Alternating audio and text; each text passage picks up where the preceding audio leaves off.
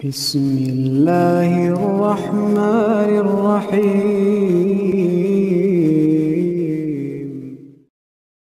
Di antara keutamaan bertobat, Allah Subhanahu wa taala ya akan mengampuni dosa-dosanya, ya. Dosa-dosa yang begitu banyak jadi nol, ya, jadi nol. Kata Nabi sallallahu alaihi wasallam, "At-taibu minadz-dzam kaman la dzamba lahu." Orang yang bertobat dari dosa seakan-akan tidak punya dosa, jadi nol. Dosanya sebanyak apa pun jadi nol. Makanya tobat ini paling membuat jengkel iblis. Dia sudah berusaha menggoda manusia terjerumus dalam maksiat ini, terjerumus dalam mas tiba-tiba sang hamba bertobat sebelum meninggal. Semua kerja keras iblis puluhan tahun gagal. Kenapa hamba ini bertobat dan tobatnya diterima oleh Allah Subhanahu wa taala. Di antara keutamaan bertobat, Allah bukan cuma menjadikan uh, dosa tersebut menjadi nol, bahkan Allah kasih bonus. Bonusnya dunia dan akhirat. Ini menunjukkan Allah sangat sayang kepada kita ya. Tidak ada di di dalam kehidupan dunia ini kalau kita punya kesalahan sama orang, kemudian kita minta maaf, kemudian dia bilang saya maafkan dan saya kasih kamu duit. Tidak ada. Tidak ada. Antum pernah bikin masalah sama orang terus antum bilang, "Aduh, oh, mohon maaf saya salah kemarin." Ya udah saya maafkan nih ada duit buat kamu. Hampir enggak ada. Saya enggak pernah nemukannya. Ya. ya mungkin dia ngomel-ngomel, ya saya maafkan. Tapi Allah Subhanahu wa taala kalau Anda bertobat, apa yang Anda dapatkan? Bukan cuma dosa diampuni jadi nol, dapat bonus dunia dan akhirat. Bonus di akhirat dapat surga. Ya. Ya ayyuhalladzina amanu tubu ila Allahi taubatan nasuh. Asa rabbukum ayyukaffira ankum sayyi'atikum. Wahai orang yang beriman bertobatlah kepada Allah, niscaya Allah akan mengampuni dosa-dosa kalian. Apakah titik belum masih koma? Selanjutnya masih ada. Wa yudkhilakum jannatin tajri min tahtihal anhar. Allah akan masukkan ke dalam surga yang mengalir di bawahnya sungai-sungai. Dapat bonus surga. Ini menunjukkan taubat ibadah.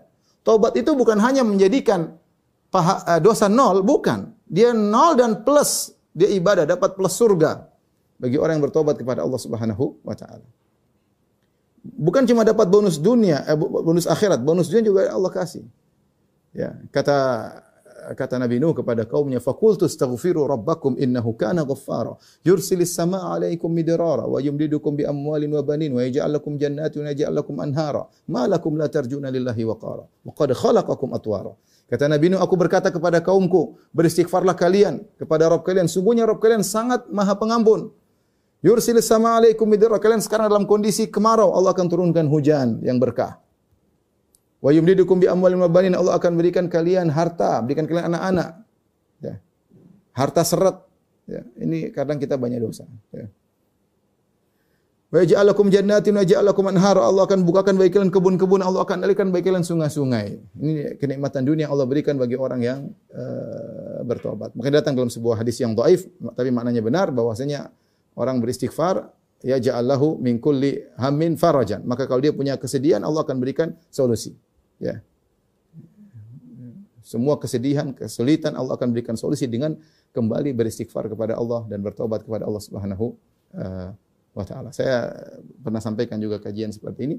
Uh, ada sebuah saya dengar saya baca tentang kisah seorang ketika dia ribut dengan istrinya atau dia ribut dengan suaminya, dia bingung apa yang harus dihadapi, maka dia cuma duduk istighfar, astagfirullah, astagfirullah, astagfirullah. Suaminya pergi dari rumah, dia istighfar, astagfirullah. Terus istighfar bertobat, suaminya kembali lagi. Karena ketika seorang menghadapi masalah dan dia hadapi permasalahan tersebut, pertama dengan istighfar dan tobat itu kunci keberhasilan. Kunci Allah akan berikan solusi kepadanya. Ya, kunci Allah. Kita ini banyak masalah. Udah begitu ada masalah, jangan dulu salahkan orang, salahkan diri sendiri. Ini masalah gara-gara dosa kita. Sudah duduk istighfar, astagfirullah, astagfirullah, tubu ilaih. Rabbi ufirli wa tubu alayya. Ya. Ya, jadi banyak ke, ke, ke, keutamaan dunia yang Allah berikan bagi orang yang beristighfar dan bertobat kepada Allah Subhanahu wa taala. Kaum Nabi Nuh, kalau mereka bertobat Allah turunkan hujan hujan yang berkah. Tetapi ketika mereka tidak bertobat, Allah turunkan hujan azab. Allah turunkan hujan azab. Jadi orang yang bertobat dapat bonus uh, dunia uh, dan akhirat ya. Jadi ini saya ingin sampaikan bahwasanya tobat adalah ibadah kepada Allah Subhanahu uh, wa taala.